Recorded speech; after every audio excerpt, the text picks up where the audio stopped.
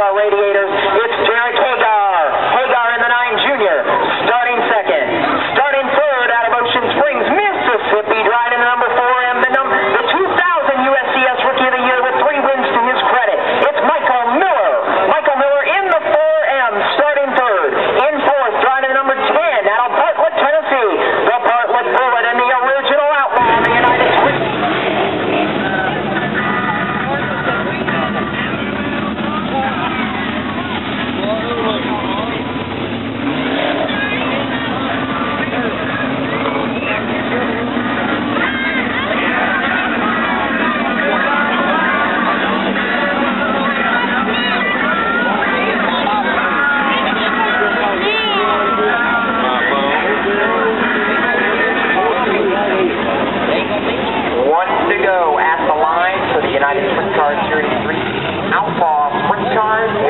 entire speed dash getting ready to get on the track here.